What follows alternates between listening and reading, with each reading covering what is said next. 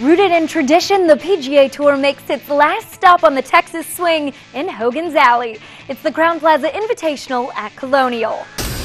Welcome to the latest edition of PGA Tour Today. No PGA Tour event has been contested on the same layout longer than the Crowne Plaza Invitational at Colonial Country Club. The list of past champions runs deep with the names of Ben Hogan, Sam Snead, Jack Nicklaus, and Arnold Palmer. Hello, I'm Win McMurry. Built in 1936, Fort Worth's Colonial Country Club has been a landmark in the South. It hosted the 1941 U.S. Open, the first time the national championship was held below the Mason-Dixon line. The PGA Tour event dates back to 1946. Hogan won the first two playings and followed them up with three more victories at Colonial over his lifetime, including what turned out to be his final career win in 1959. Continuing in the footpath of legends, a field piled high with champions has assembled for one last time this season in the Lone Star State.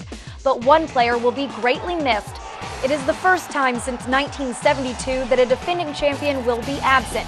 That year, the 1971 winner, Gene Littler, pulled out after being diagnosed with cancer of the lymph nodes. Phil Mickelson will not defend this year as he tends to his family after the news that his wife Amy was diagnosed with breast cancer.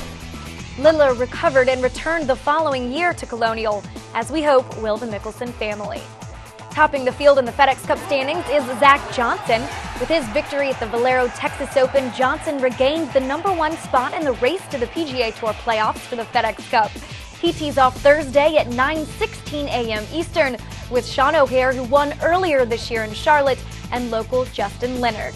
The Dallas native has five career top tens at Colonial, and he's been comfortable at home over the last few weeks with a tie for 16th at the HP Byron Nelson Championship and a tie for 5th in San Antonio. Last week's winner, Rory Sabbatini, has also lifted the Fort Worth Trophy back in 2007, but he'll have to conjure something special from Hogan if he's to win at Colonial this year. Hogan is the only player who has won both Dallas Fort Worth events in the same season. Kenny Perry already has two Crowne Plaza Invitational at Colonial titles to his name from 2003 and 2005.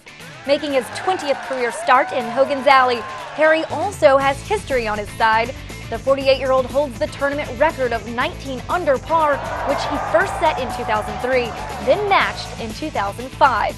Perry is off at 9.04 Eastern Thursday morning. Joining Perry for the first two rounds, 34 time PGA Tour champion Vijay Singh and this year's Verizon Heritage winner, Brian Gay, a Fort Worth native. In the afternoon, keep an eye out for Aussie Geoff Ogilvy, who is already a multiple winner on tour this year. Ogilvy is second in the FedEx Cup standings and tied for seventh last year at Colonial. With more on what to expect this week, we go to the PGA Tour Network's Fred Albers. Welcome to Colonial Country Club, the site of the Crowne Plaza Invitational at Colonial. In the words of Geoff Ogilvy, what a pleasure it is every year to come to this historic golf course. Quite frankly, there are some places on the PGA Tour where the strategy involves grip it and rip it off the tee, gouge it out of the rough onto the green, take one or two putts, and move on. That's not the case with this historic old golf course, affectionately known as Hogan's Alley. Geoff Ogilvy says you must think your way around this golf course. You must maneuver the golf ball, hitting draws, hitting fades, and picking your opportunities to attack. How good is this golf course? Look at the diversity of the winners. Phil Mickelson, one of the longer hitters in the history of the PGA Tour, has won here twice. And Corey Pavin, one of the shorter hitters in the history of the PGA Tour, has won here twice as well. It is always a great week of golf when you're at the Crowne Plaza Invitational at Colonial.